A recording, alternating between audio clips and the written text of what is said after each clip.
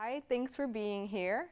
Um, I first want to thank ConnectNext in the UConn um, University of Connecticut for hosting the series and for allowing me to be a part of it. I am honored to be here. So my name is Tikeyah Whittle and I work for Connecticut Public. We are a nonprofit media organization in Hartford, Connecticut. And um, there I do a couple of things. One, we're partnered with Hartford Public Schools. So I have the honor of teaching high school students about video production and journalism, um, editing and working with cameras. And then I also um, am in charge of a food show for Connecticut Public called Off the Menu, where I get to go out to restaurants and interview chefs and film them cooking dishes. So it's really fun, I enjoy it. So when you think of a food show, um, I want you to just kind of yell out some answers. Like what typically comes to mind? Chopped. Chopped, yes. What else? Anything else? Okay, yeah, some competition in there. Um, people kind of showing you how to make something, right? But off the menu isn't that at all. It's not about technique. It's not about ingredients. You know, it's not today we're gonna make this silky risotto with some beef medallions. You know, we don't do that on off the menu. But what off the menu is about is about passion. It's about persistence. It's about learning how to thrive, learning how to survive. So I'll let you guys take a look. Thursday before Easter 1993, I um, came down with 106 degree fever. The following day, I went into the hospital. I learned later that doctors told my mother that, that I had about 10, 10 hours to live. I grew up in West Texas. There's a taqueria on every corner. I wanted to do stranger things so people would say, oh wow, you're putting Kung Pao chicken in a taco. Let me try that. In 2010, I lost my mom, and I would just be at home cooking. My daughter would come in and go, Ma, who's coming over today? I said, Nobody. Why? She goes, Why is all this food here? It was like a coping mechanism for me. Four gentlemen rode up to Springfield, and they say they shot somebody in the commission of a robbery or whatever. I was accused of being the main shooter in that particular crime, and subsequently I was arrested. That's an ongoing joke in prison when you say you didn't do it almost everyone busts out laughing, but you know, I was actually innocent of crime, so you know, it wasn't a good situation. You know, we wanted to open a restaurant, just couldn't afford it, so we took a gamble, grabbed a truck, opened it up. The test drive we did, I think, was like 200 feet, and Dave was like, we've got a food truck. Could only go about 35 miles an hour in rush hour traffic. Everybody's honking. What have we done? We just sunk like the only $4,000 that we have into this piece of junk. The only time that I can spend time with my family, it was if I go and help them with the family business. It was probably my first 100 pesos that I make. Since that day, I didn't stop.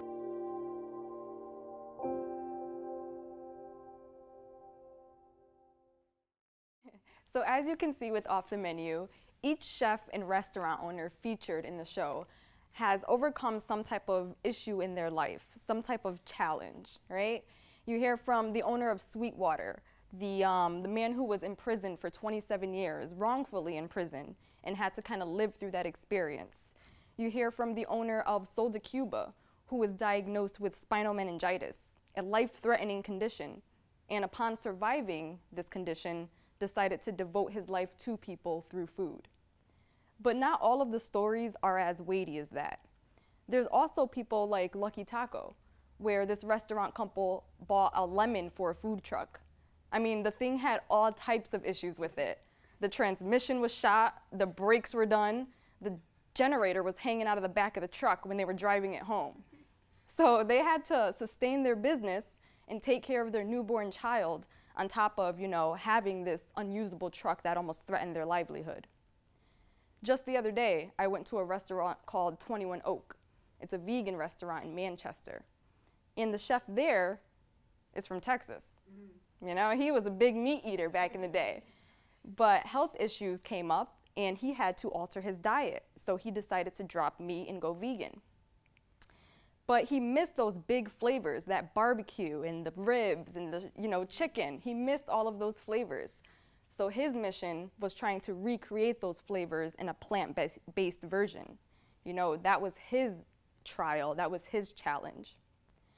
So although all of the stories vary, you know, they have one thing in common, and that's perseverance. It's getting through something. It's figuring it out. Upon kind of thinking about what I was going to talk about for this talk today, I honestly had no clue. It took me a while to really narrow down like what I was going to deliver today. And while looking at my show and kind of reflecting on my work, I realized that a lot of the themes in my show are directly parallel to the things that I've gone through in my life. You know, things like perseverance, things like struggle, grit, relentlessness. You know, I grew up in a low income housing complex called Mount Pleasant. It was the projects. I mean, I saw my fair share of violence and drug related issues. Up until I was six months old, I actually lived with my biological mother, and she was addicted to substance abuse. It controlled her. So my mom would leave me in the house as an infant. You know, I'm not even one years old yet. She would leave me alone as she went out and tended to her addiction. I had no father in the picture. So my aunt would get these phone calls from my mom's neighbor, and they'd go like, you know, your sister just left the house, and that baby wasn't with her. So after that happened, my aunt ultimately, thankfully, luckily, took custody of me. And that's when I moved into Mount Pleasant. It was like a war zone in Mount Pleasant, like a literal war zone. I remember one time, this guy rushed in our house with a machine gun. It was covered with a blanket, but the blanket wasn't nearly big enough to cover the thing he was trying to hide. And it turns out he had the wrong house, luckily. Um, his neighbors lived next, or his family members were our neighbors, and he was trying to find some place to stash the weapon. So that happened. There was also a time I was at the playground, minding my own business, when I saw two groups suddenly emerge in front of the playground. And then a bang let off. I ran as fast as I could until I couldn't run anymore, until I was out of breath. It was a shootout happening right in front of me. It was so bad in Mount Pleasant that one time I saw a group of kids, maybe about four or five kids, just running, sprinting like they were out, they were going somewhere. And without hesitation, I was out too, you know? I didn't want to get caught by whatever was chasing them. you know? It turns out they were just playing a game. but in that situation, in that environment, you just did not want to take that risk. So when I moved to Mount Pleasant, I didn't only move in with my aunt. I moved in with my two-year-old cousin, whom I call my brother today, my uncle, who had you know issues of his own and often needed a place to stay, and we were also living with my mother's sick and deaf parents, and she had to take care of us all. She did it all, but it wasn't all bad. It was in the projects where I learned things like independence, right? When people would try to you know persuade me into doing something I shouldn't be doing. Or when people in the projects had this mentality that they just couldn't get out or you know they just kind of accepted their position in life. I had the mentality to think differently to have an independent mindset and to know that there was more to life than the circumstances that i was given. In the projects i learned strength. I learned grit. I learned freedom of thought i learned perseverance i learned you know, how to get through things, how to figure it out without making a fuss, you know, how to be efficient. Watching my aunt grow up was just amazing. She would come home from work as a single parent, cook us dinner, clean the house, wash dishes, read us a bedtime story, take care of her parents. And she did this every single day, day after day, without giving up, without complaining. She was this awesome symbol of strength and perseverance. Making myself cry. Another theme that was very common in my life that also reflects to my food show was food. So my aunt and I bonded over the Food Network. Like that was all we would watch. Emeril Lagasse, Rachael Ray, Giada De Laurentiis were like our top three people it was so funny because growing up in the projects and knowing, you know, there were drug users and drug dealers around, my brother and I would laugh hysterically anytime Emeril would say crack black pepper. today we're gonna use some crack black pepper. And we would just lose it. It was the biggest joke in the world. Or when Giada De Laurentiis, my mother and I would always um, laugh at the fact that she described everything as creamy. We just waited for it. She's gonna say creamy, we just know it. It could be a hearty bolognese. Something about it was creamy. It could be a piece of toast. And all the gluten strands are just so creamy. Something about it was creamy. watching food shows with my mom would be like watching CSI or some type of like action packed drama, right? This is my mom watching a food show. She's gonna, oh no way. She's gonna deglaze that pan with the wine. I told you she was gonna deglaze the pan with the wine. I told you. Wait, is she gonna, oh, I know she's not gonna do that. Is she gonna wrap those scallops with the, I told you. She's wrapping those scallops with the bacon. My mom was just so into it. And that excitement translated into the kitchen, where my mom would make dishes from all over, different cultures. One day we'd have fried chicken and collard greens and mashed potatoes.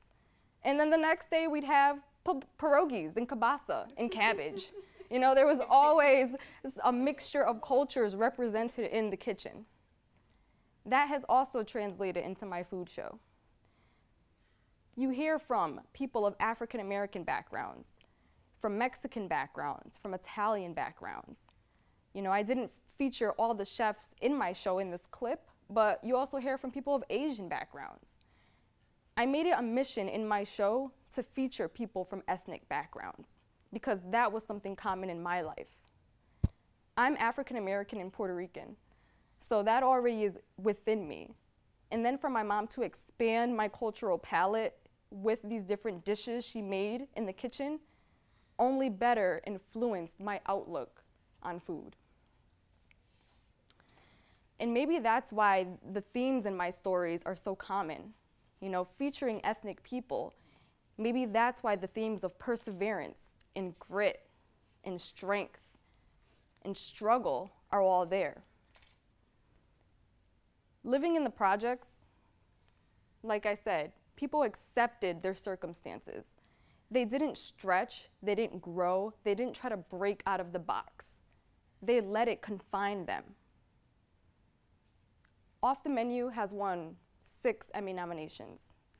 I've received Emmy nominations for my work in producing, cinematography, editing, directing, and it's all because I've allowed my life to shine through my work.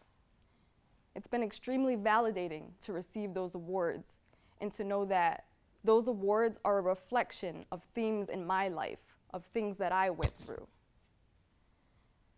So the moral of my talk today and what I really want you to get out of, you know, everything that I said today is in life you will go through things. They will push you. You know, they will make you want to quit right? I had so many circumstances in my life where I could have thrown in the towel and said, you know what, I'm just going to accept what I was given. But I pushed through and I made it work and I broke those walls down.